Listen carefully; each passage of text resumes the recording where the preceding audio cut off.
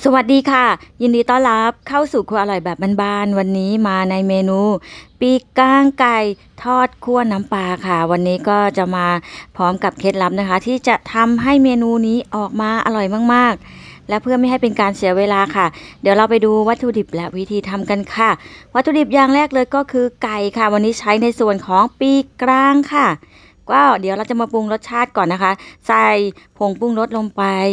แล้วก็ตามด้วยแป้งค่ะ วันนี้จะใช้เป็นแป้งทอดกรอบ แป้งทอดกรอบเพื่อนๆจะใช้เป็นยี่ห้ออะไรก็ได้นะคะ ใส่ลงไป 2 ช้อนโต๊ะค่ะ ส่วนผงปรุงรสก็ใส่ลงไปอยู่ที่ 1 ช้อนชาค่ะ จากนั้นก็ทำการขยำค่ะ แล้วคลุกเคล้าให้ส่วนผสมทุกอย่างเข้ากันค่ะ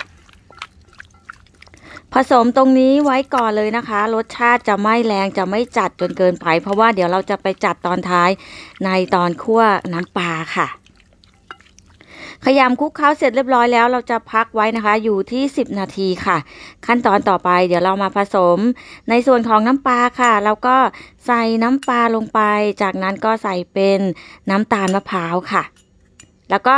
ใส่เป็นน้ำเปล่าลงไป จากนั้นก็ใช้ช้อนค่ะคลุกเคล้าให้ส่วนผสมทุกอย่างเข้ากันให้น้ำตาลละลายเข้ากันไปกับน้ำปลาค่ะในขั้นตอนนี้นะคะ ถ้าใครมีน้ำตาลทรายก็ใช้น้ำตาลทรายได้ค่ะ เดี๋ยวแอดมินจะขอใส่เป็นน้ำปลาเพิ่มไปอีกสักเล็กน้อยนะคะ ก็คือกลัวว่าน้ำปลาจะน้อยไปค่ะ จากนั้นก็คลุกเคล้าต่อค่ะ วันนี้ใช้เป็นน้ำตาลมะพร้าวหรือว่าน้ำตาลปี๊บก็เพราะเราจะให้ความหวานนะมีความหอมๆมีความนวลๆค่ะ ขั้นตอนต่อไปค่ะ เดี๋ยวเรามาเริ่มทอดไก่กันก่อนค่ะ ก็เริ่มจากการตั้งกระทะ ใส่น้ำมันลงไปค่ะ แล้วก็ติดไฟใช้เป็นไฟแรงเลยค่ะ จากนั้นพอน้ำมันเริ่มร้อนก็ปรับไฟลงมาเป็นไฟกลางค่ะ จากนั้นเราก็นำไก่ลงไปทอดเลยค่ะ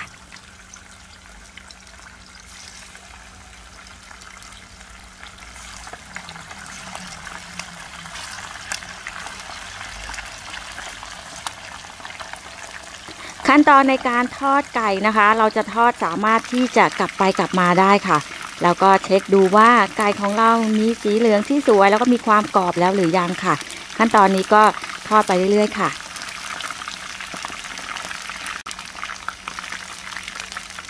ตอนนี้ไก่ก็ได้แล้วนะคะ มีความกรอบแล้วก็สุกเรียบร้อยแล้ว จากนั้นเราก็ตักขึ้นมาค่ะ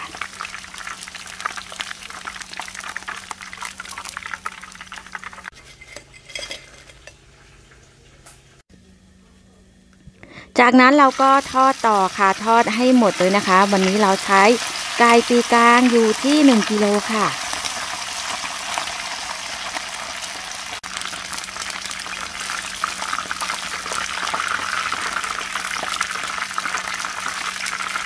และขั้นตอนของการทอดไก่ก็เสร็จเรียบร้อยแล้วค่ะ เดี๋ยวมาดูขั้นตอนต่อไปกันค่ะ ขั้นตอนนี้ให้เราตั้งกระทะขึ้นมาอีกหนึ่งกระทะนะคะ น้ำปลาที่เราได้ผสมกับน้ำตาลไว้ใส่ลงไป จากนั้นก็ติดแก๊สติดไฟค่ะ พอน้ำปลาเริ่มเดือด เราก็ใส่ไก่ลงไปค่ะ ขั้นตอนนี้เราก็จะคลุกและคั่วไก่นะคะ ไปเรื่อยๆ ให้น้ำปลานะคะคลุกเคล้าไปกับไก่ให้ซึมไปที่เนื้อไก่เลยค่ะ แล้วก็คลุกเคล้าไปเรื่อยๆ เช็คดูค่ะว่าน้ำปลาของเราที่ใส่ลงไปเนี่ยแห้งแล้วหรือยังค่ะ ก็ให้มีกลิ่นนิดๆนะคะ ความแห้งนี้ก็จะทำให้น้ำปลามีความหอมมากยิ่งขึ้นค่ะ มีความไหม้หน่อยๆค่ะ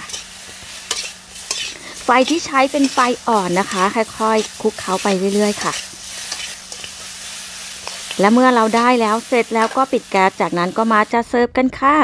จะเสิร์ฟใส่จานแล้วก็จะได้ออกมาหน้าตาเป็นแบบนี้ค่ะ แล้วก็เป็นอันเสร็จแล้วนะคะ กับวิธีการทำไก่ทอดคั่วน้ำปลาค่ะ เป็นยังไงบ้างคะเพื่อนๆ กับเมนูนี้แล้วก็คลิปนี้ แล้วก็หวังว่าทุกคนจะชอบคลิปนี้ค่ะ แล้วถ้าเกิดว่าชอบคลิปนี้ก็ฝากกดไลค์กดติดตามให้ด้วยนะคะ แล้วเดี๋ยวเรามาเจอกันใหม่ในคลิปหน้าวันนี้ต้องไปแล้วค่ะ สวัสดีค่ะ